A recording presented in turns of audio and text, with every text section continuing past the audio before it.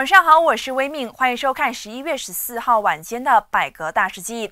针对早前有本地国际酒店禁止女穆斯林戴头巾课题，旅游部长纳兹里今天斥责这是没有教养的行为。他指出，在他人的国家就应该尊重当地风俗，这也是属于歧视行为。而我国宪法阐明禁止歧视行为。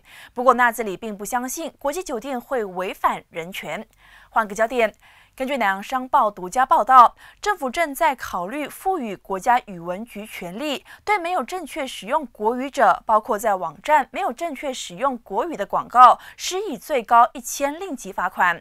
对此，纳兹里表示赞同，并说每个国家都有本身的国家语文，如果到了不尊重国语的地步，还能做些什么呢？同时，他也不想国语沦为次要语言。不过，就有网民质问：何谓正确国语呢？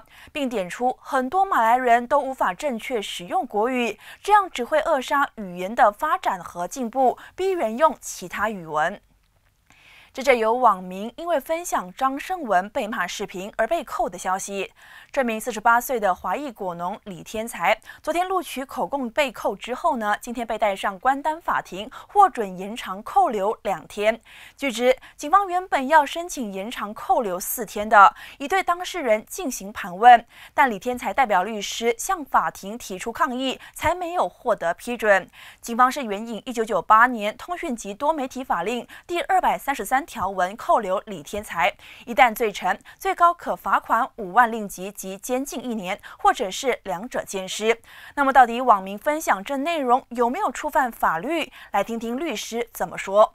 他唯一辩护的话，就是说这个东西不是他写的。如果是说证实他写的话，然后证实说这个东西是在二三三以下的话呢，我觉得这是比较难去辩护的。我所知道的，他是在电子书上面分享出去的，所以就是他的账户的账户被盗用，不是他写的。我觉得这个是唯一一个能够辩护的方式。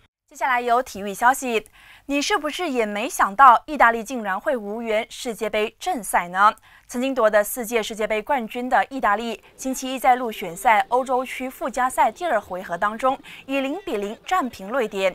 由于他们在第一回合当中落败，所以呢，以两个回合的总比分零比一被淘汰出局，无缘进入明年的世界杯正赛。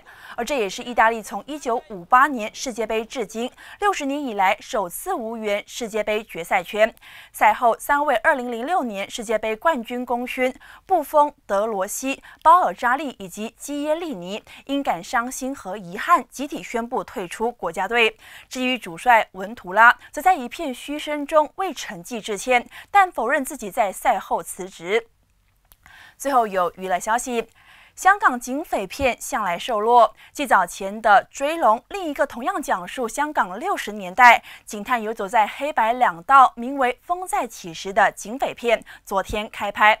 当中最大卖点就是郭富城和梁朝伟这两位影帝级演员将首次合作，在电影中呢联手对抗贪官腐败。而另一位影帝级人马许冠文也将参与演出。